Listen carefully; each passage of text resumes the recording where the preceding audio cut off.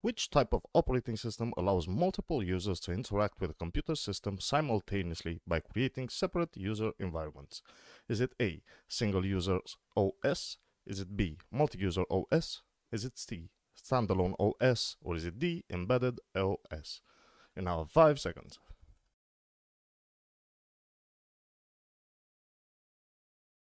And the correct answer is B, multi-users OS. A multi-user OS enables several users to work on a system concurrently, each with their individual environment.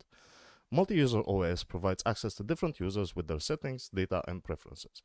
Imagine a multi-user OS like a shared workspace.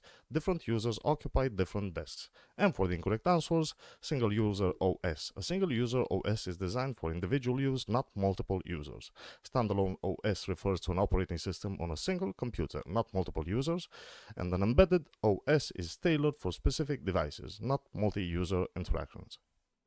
And for the next question of our exam, question number two. And the question states, which security measure involves verifying a user's identity using their unique physical characteristics such as fingerprints or facial recognition? Is it A, firewall? Is it B, two-factor authentication? Is it C, biometric authentication? Or is it D, intrusion detection system? And now have five seconds.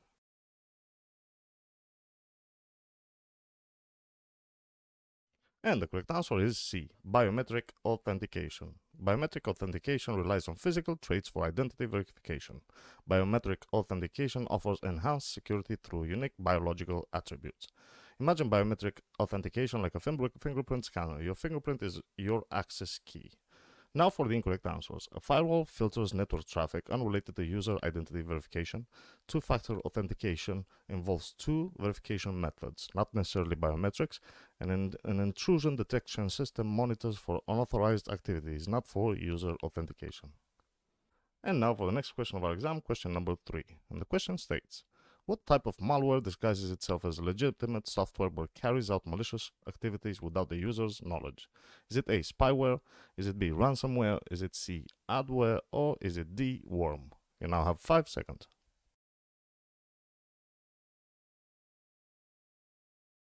And the correct answer is A. Spyware. Spyware covertly monitors and gathers information without the user's consent. Spyware tracks users' activities, keystrokes, and personal information, posing a privacy risk. Think of spyware as a hidden camera. It spies on your digital activities. And now for the incorrect answers. Ransomware encrypts data and demands payment different from monitor activities. Adware displays unwanted ads, not necessarily convert activities. And the worm is a self-replicating malware, not necessarily focused on stealthy actions. And for the next question of our exam, question number four. And the question states, what software troubleshooting technique involves using a virtual environment to recreate and analyze a user's reported issue? Is it A, system restore? Is it B, clean boot? Is it C, sandbox? Or is it D, safe mode?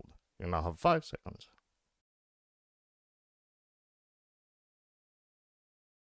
And the correct answer is C, sandbox. A sandbox creates a controlled environment to analyze issues. A sandbox provides a safe place to experiment with potential solutions without affecting the main system. Imagine a sandbox like a testing lab. You can try out solutions without risk. And for the correct answer, system restore reverts to a previous state, unrelated to recreating issues. Clean boot disables non-essential services not for creating a control environment and safe mode starts with the OS with minimal drivers, not specifically for recreating issues. And for the next question of our exam, question number 5. And the question states, what operational procedure involves ensuring that the system's access controls, user permissions, and authentication mechanisms are properly configured? Is it A. Change management? Is it B. Patch management? Is it C. Users acceptance testing? Or is it D. User provisioning? And I have 5 seconds.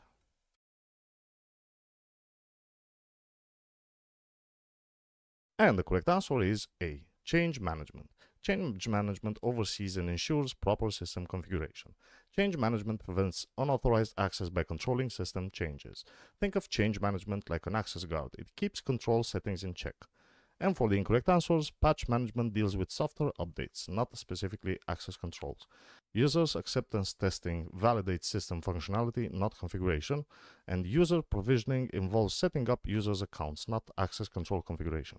And for the next question of our exam, question number 6. And the question states, what software troubleshooting method involves uninstalling and reinstalling an application to resolve issues caused by corrupted files? Is it A. System restore?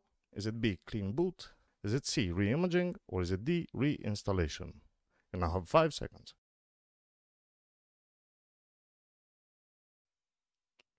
And the correct answer is D, reinstallation. Reinstalling an application can fix issues stemming from computer corrupted files. Reinstallation provides a fresh copy of the application, potentially eliminating file corruption. Think of reinstallation as a clean slate, starting fresh to address problems. And for the incorrect answer, System Restore reverts to a previous state, not reinstalling applications. Clean Boot disables non-essential services not related to application files.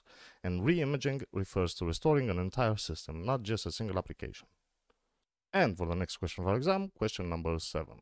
The question states, what operational procedure involves documenting the step-by-step -step process to accomplish a specific task, facilitating consistent and accurate execution? Is it A, incident response? Is it B, troubleshooting flowchart? Is it C, knowledge base? Or is it D, change management? You now have 5 seconds.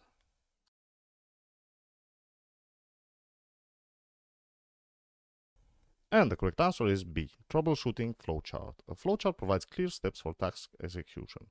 Flowcharts simplify complex tasks by breaking them into manageable steps. Imagine a flowchart like a recipe. It guides you through a task step by step. And for the incorrect answers, incident response deals with security breaches, not task execution. A knowledge base stores information, not step-by-step -step procedures. And change management oversees system changes, not procedural tasks. And for the next question of our exam, question number 8. And the question states, what security measure involves restricting access to only authorized users based on the job, roles, and responsibilities? Is it A, least privilege? Is it B, MFA? Is it C, biometric authentication? Or is it D, intrusion detection system? You now have five seconds.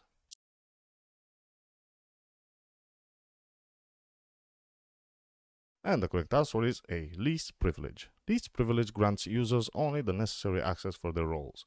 Least privilege minimizes security risk by limiting users' access to essential functions. Think of least privilege like an access badge. It grants entry to specific areas based on your job. And for the incorrect answers, MFA or multi-factor authentication involves multiple verification methods, not role-based access. Biometric authentication verifies identity using physical traits, not role-based access, and an intrusion detection system monitors for unauthorized activities unrelated to role-based access.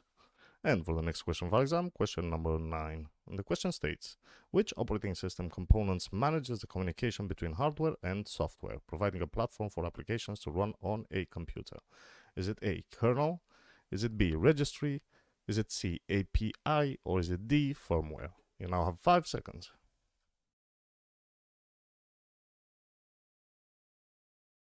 And the correct answer is A, kernel. The kernel is the core component that manages hardware-software interaction.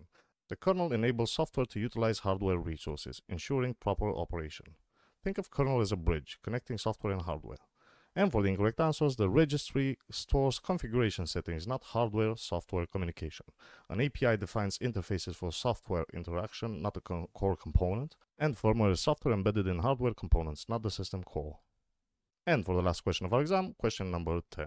And the question states, what security measure involves converting plain text into a non-readable format during data transmission to prevent unauthorized access? Is it A, firewall? Is it B, VPN? Is it C, encryption? Or is it D, intrusion prevention system? You now have five seconds.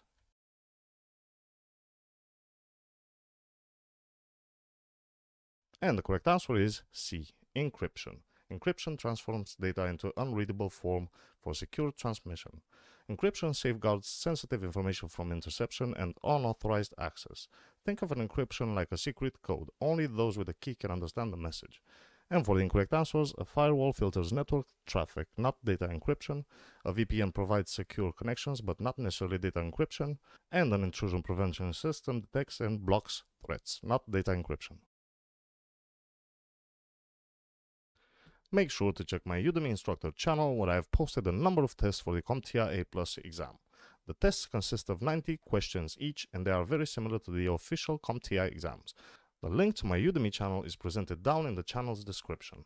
Ladies and gents, this is the end of our exam. If and only if you found this video useful, make sure to drop a sub and share it with your friends. I hope you found this video informative and I'll see you guys next time. Peace!